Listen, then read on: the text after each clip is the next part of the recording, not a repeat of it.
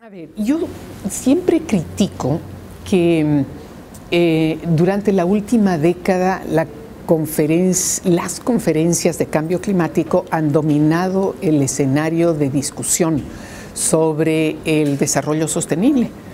Eh, y de alguna manera han, em, apagado o han cubierto eh, otro tipo de discusiones sin tomar en cuenta los resultados y la importancia. Y me refiero específicamente a biodiversidad, a ecosistemas, ¿no es cierto?, a la agenda, eh, entre comillas, verde que ha perdido, ha perdido relevancia, ha perdido brillo, porque todo el mundo está enfocado en la tecnología y en los mecanismos de mercado para poder reducir eh, ah, el, impacto de cambio climático.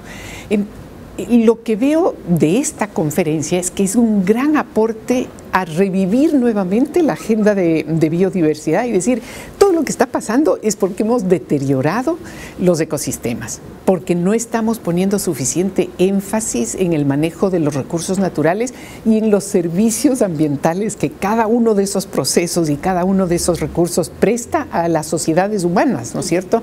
Entonces, me ha encantado ver que de aquí hay una discusión muy fértil de qué pasa con el agua, ¿no es cierto? De qué pasa con los ecosistemas y los servicios de los ecosistemas que tienen directa relación o que son la base sobre la cual eh, se deben construir las respuestas de cambio climático.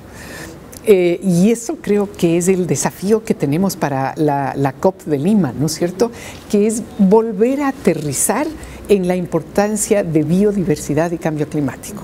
Y creo que eso está sucediendo y lo que ves en todos los actores y ves en todas las mm, ideas e iniciativas que salen van en esa dirección.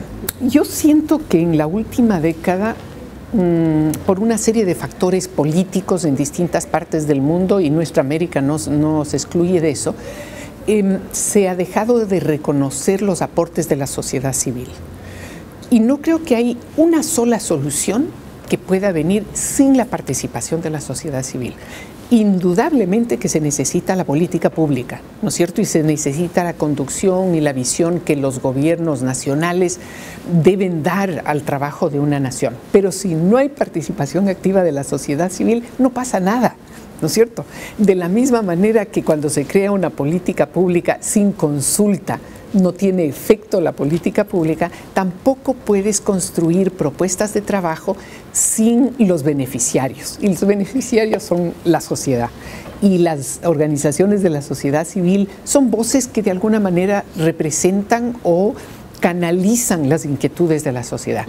Y me encanta ver cómo el gobierno del Perú está haciendo esfuerzos para receptar ideas, receptar aportes, receptar contribuciones no hablo de lo monetario, ¿no es cierto?, sino de lo intelectual, de, qué está pasando en otras partes del mundo, de lo que ya se conoce, porque hay, hay que hacer camino al andar, hay mucho todavía que trabajar, pero eh, tenemos que reconocer que lo ya andado sirve, sirve de modelo, sirve de, ejemplo que debemos seguir. ¿Para qué inventar la pólvora, no es cierto?, cuando ya está eh, esa información disponible en experiencias de la sociedad civil de nuestros países y de otras partes, de otros continentes.